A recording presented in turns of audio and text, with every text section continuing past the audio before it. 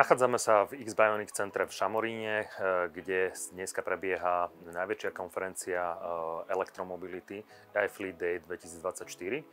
A v rámci tejto konferencie preberá slovenské elektrárne ocenenie ELF pre firmy priateľské k elektromobilite. Slovenské elektrárne začali s elektromobilitou v roku 2011, kedy kúpili prvé tri elektrické vozidlá Piaggio Porter. V roku 2012 sme sa stali spoluzakladajúcim členom Slovenskej asociácie elektrických vozidiel. Možno sa aj sami zamyslíte nad tým, že sme boli súčasťou elektromobility ešte skôr, ako sa táto organizácia uh, založila.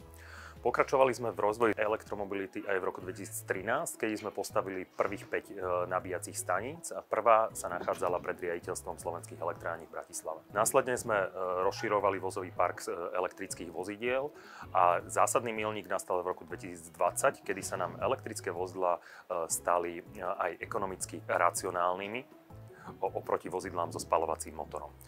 V dnešnej situácii alebo v dnešnej dobe v roku 2024 očakávame, že budeme prevádzkovať 130 elektrických a plug-in hybridných vozidiel a sieť, ktorá zahrania viac ako 160 nabíjacích bodov. Ocenenie Seva Elf Champion je najvyššie ocenenie, ktoré v elektromobilite môže spoločnosť získať. Ocenenie Seva Šampiona sme dostali za to, že sa nám podarilo celú flotilu našich služobných aut zmeniť za čisto elektrické.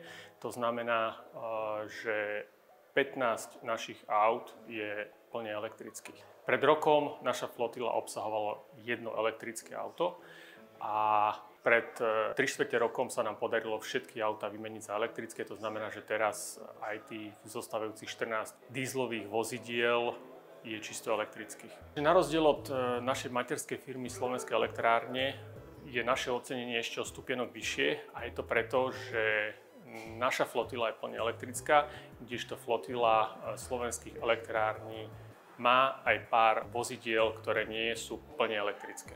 Toto ocenenie je pre nás dôležité aj ako vizitka pre našich zákazníkov, že to s energetickou efektivnosťou myslíme vážne.